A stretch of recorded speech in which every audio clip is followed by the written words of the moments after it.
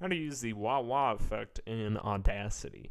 So this is kind of a fun one. It's a kind of a weird little filter you can put over your track. Um, I can't think of an actual use I've had for it yet, but nevertheless, here's how to use it. So go ahead and have a track ready. I'm just going to record one here for an example real quick. Testing, testing, testing, testing. Okay, so I have my track here. Go ahead and select all of it. Okay, um, here we'll just play it back so you know. Testing, testing, what it sounds testing, like normally. Testing. Okay, then go up and select effect, and then go down to where it says wah wah. Okay, and then we'll have our effect here. Go ahead and select on apply.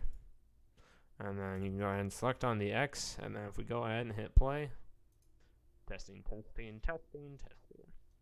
So it's kind of like your voice is cutting in and out and in and out. Like it's going from the foreground all the way to the background. Kind of something like that.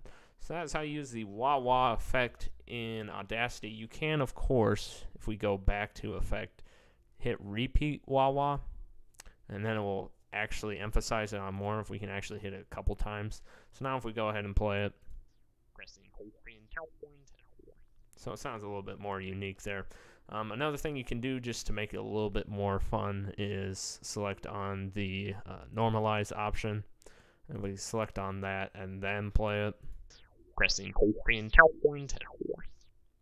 So that's a little bit more of a better example of how to use the wah wah effect. So that is though how you use the wah wah effect in Audacity.